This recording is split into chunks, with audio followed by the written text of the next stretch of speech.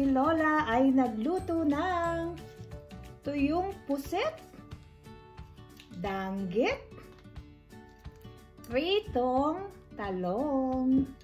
Siyempre, meron tayong suka na may sile, may alamang lahat ng pampahay blood kay Lola ay nandito sa table. Siyempre, meron pa ako ditong cucumber salad. Yan. At siyempre, I'm very unhealthy. Coca-Cola. Minsan lang yan kay Lola. Kaya pagbigyan nyo na ang Lola nyo kumain ng, ng bawal. Kaya, syempre, kakain tayo, magkakamay. Ayan, yan. So, si Lola ay magmumukbang. Ayan. Ayan. Siyempre, nakakamay. Nagugas na ako ng kamay, guys. Mm. Kasi miss ko na ang Pilipinas. Kaya, kain probinsya muna ang aking gagawin ngayon. Ayan, meron tayong sausawan. Ang mukbang natin ay, ayan, may alamang. Mmm. Mmm, sarap. Namiss ko to, grabe. Mm-hmm. Lahat ng maalat. Bukas may high blood si Lola. Ay, mamatay na sa sarap. Mm. Mm. Mm, sarap. Mm. Namiss ko to. Kung may kasalo si Lola, mas masarap. Mm. Sarap. Mm, sarap tapos nakakamay.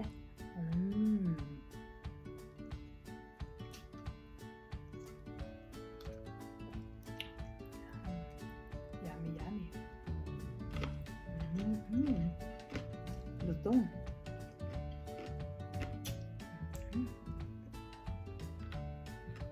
Siyempre, talong. Talong-talong. Ang masarap na talong. Mm. Mm. Namiss ko to talaga guys. Ako si Lola. 4 years na, mag 4 years na palang hindi nakauwi. Kaya, miss na miss ko na yung buhay sa province. Kaya, eto si Lola. Ayan, nagluto-luto ng pagkain buhay probinsya. Mmm. Mmm. Sarap. Mmm. Ululaway. Pusit. Yan, Normally, sa ating yung dried pusit, pinupulutan, di ba? Mm. Dito, gintong-ginto ito. Alam niyo ba kung saan galing itong aking tuyo? Itong dried pusit. Saka itong danggit. Galing to kay Pinay in Germany. Binigyan niya ako noon. So, ang ginawa ko, freezer. Si freezer ko yan para magtagal. Siyempre, unti-unti ko yan kakainin. Unti-unting lulutuin. Para pag kung kailan ko gustong magluto, kumain ng tuyo, ayan, kasi bawal kay Lola kasi high blood. Hmm. Pero okay lang. Minsan lang naman tayo kumain nito eh. Hmm. Pag na high blood, may gamot naman. May maintenance si Lola. hmm. Kanyang kumain si Lola. Pag wala si Happy. Pag nandiyan si Happy, hindi, alam nyo, hindi siya kumakain ng mga dried, dried fish. Ayaw niya. Hmm.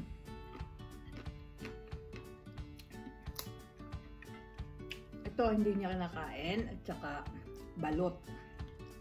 Pero yung fish sauce, yung iba ayaw. Pero yung asawa ko, okay lang siya sa patis. Mm.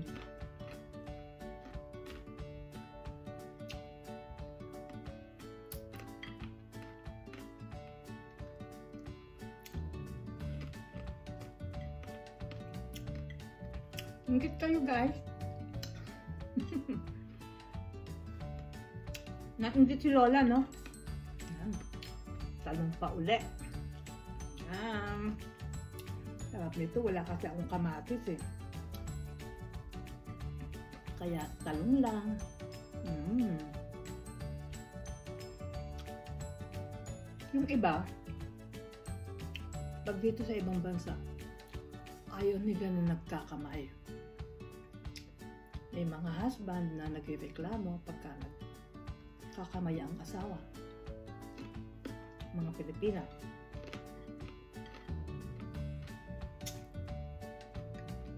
Pero sa husband ko, okay lang, basta dito lang sa bahay at kami lang.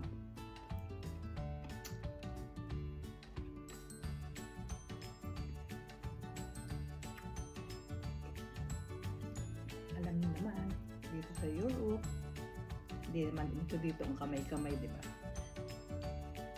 Mmm, sarap. O ano, Jokbin? Nainggit ka?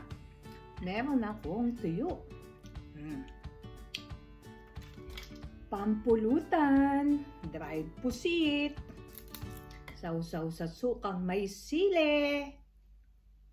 Mm.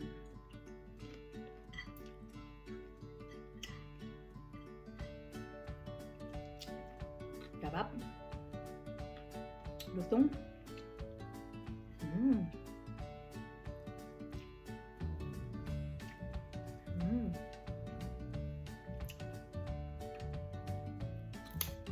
Sarap, sarap. Minsan lang to guys. Minsan lang kumuhaan si Lola ng ganito.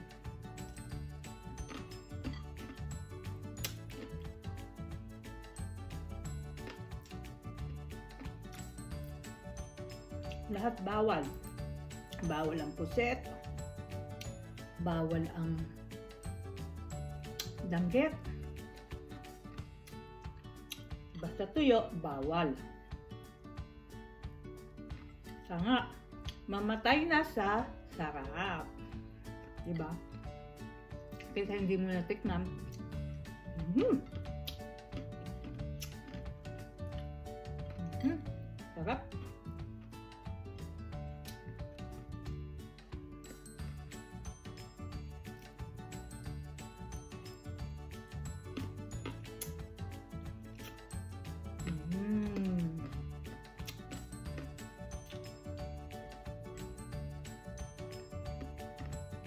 Yung matira, siyempre, tipid-tipid. Kasi, ginto yan sa akin. Ulamin ko pa siya hanggang mamayang gabi. Isang araw tayong tuyo. Sabi nila, ang tuyo, pagkain ng mahirap nung araw yan. Pero ngayon, hindi na siya pagkain ng mahirap. Kasi ang isang kilo ng tuyo, sobrang mahal.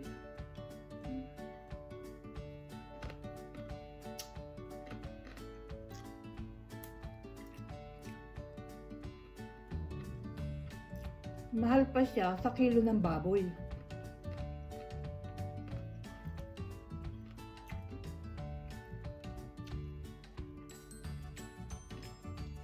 Hmm. Wala akong tissue, guys.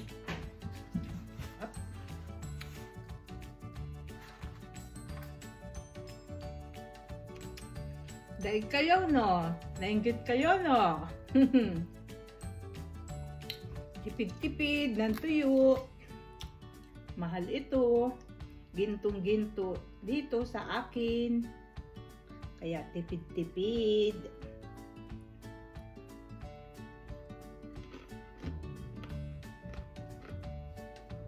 Mm.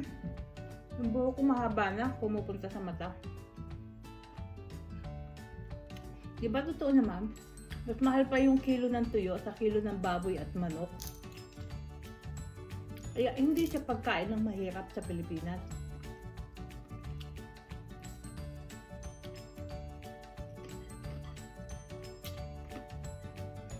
Dito, pag nakakain kami ng tuyo, masayang masaya na kami.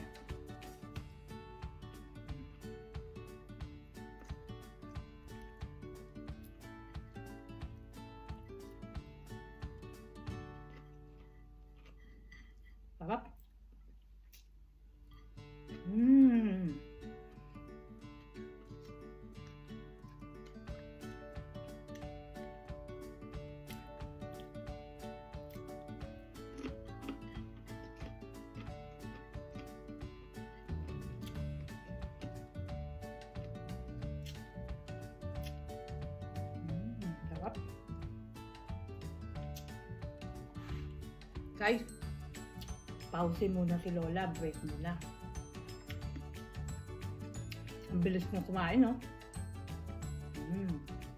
Siyempre, may kasamang coke. Actually, si Lola hindi talaga uminom ng coke. Ngayon na lang, napaibig lang si Lola kasi ang ulam ko ay tuyo.